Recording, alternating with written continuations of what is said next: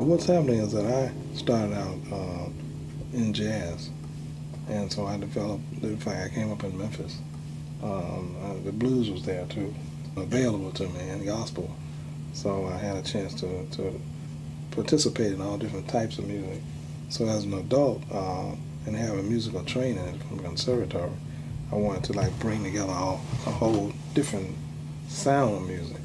So it's like, um, and, and, and, and dealing with my experiences, I had a chance to bring uh, the music to like another level and just experiment with it out with the people. And I would take the music that was very complicated chord-wise, and I put very simple hooks on it, and then would draw the draw the ear. So uh, that's that's that's really what my thing is all about. Whoa, whoa, you got the best of my love. You got the best of my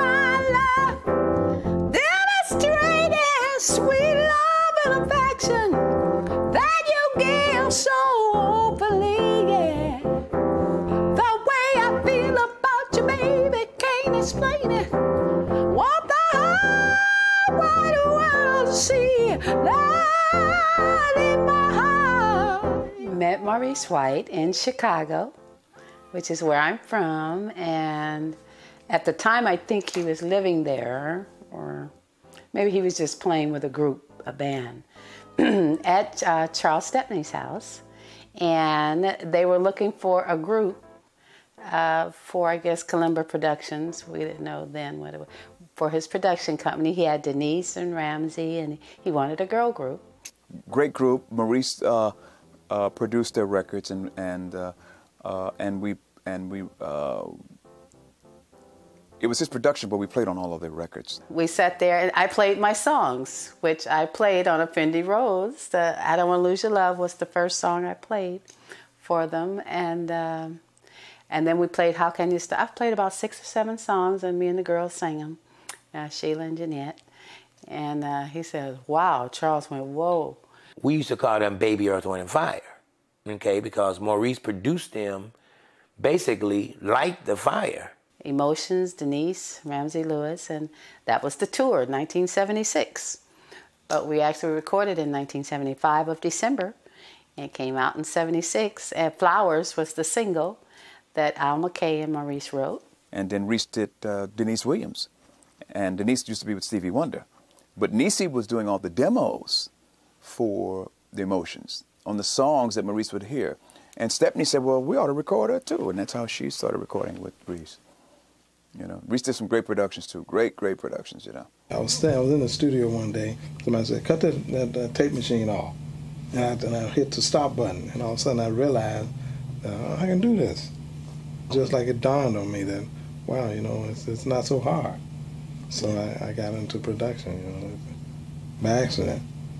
I met Maurice in 1978 to meet him like on a working relationship, but uh, I met him in 76 very passingly in Omaha, Nebraska, and Des Moines, Iowa. It was a show, Brothers Johnson, Emotions, Earth, Wind, and Fire. Wayne Vaughn, another great keyboardist and writer, and really great, came up with the the, the song "Let's Groove," and it was a real simple song. You know, I don't, I, uh, I we didn't think it was, uh, we didn't think of it in terms of a hit record at the time, because that was a Raise album. We thought songs like "Winner," "You Are a Winner" was going to be the singles, and then and "Let's Groove" ended up being really a, a great, great song for us. We still play today. Yeah.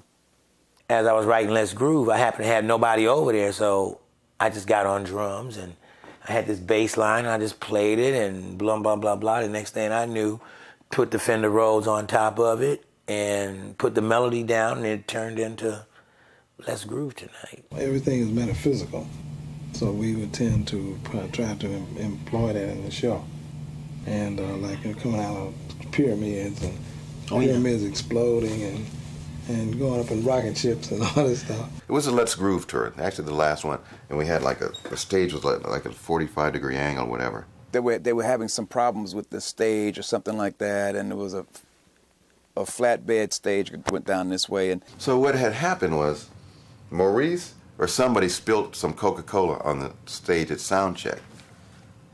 And then Maurice had a bright idea because it was sticky, right? Sticky. So he goes, you know what? He talked to our, the main stage guy. He said, Frank, I got a great idea, man, so we can get more traction. Just cover the whole stage with Coca-Cola. So we wouldn't fall to spray Coca-Cola all on the stage. And then on top of that, we had all the smoke bombs. So the guys came out.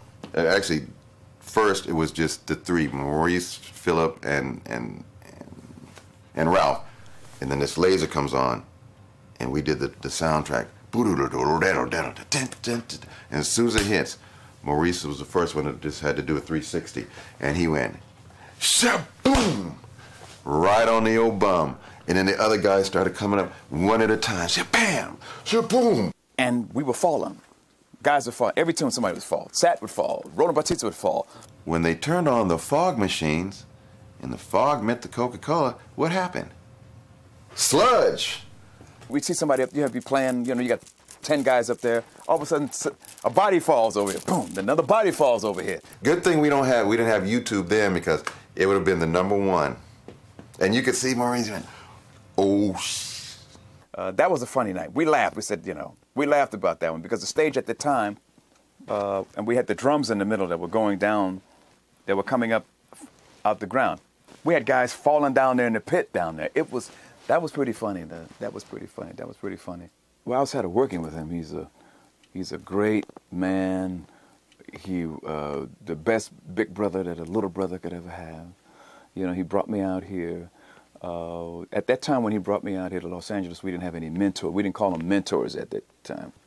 We called them the cats, and um, and it's just great, just being around him and learning from him. And it was the best thing ever happened to me. Even our, even my mother said it was the best thing. Our late mother, yes. They're still touring today. When they started touring, I didn't believe it. I said, "What? They're still how are they touring?" Because we're always into what's current, but the people love that catalog. So it's good that the fellas can still go out and do tours and play, and people are still reminiscing or getting just first time introduced to the music.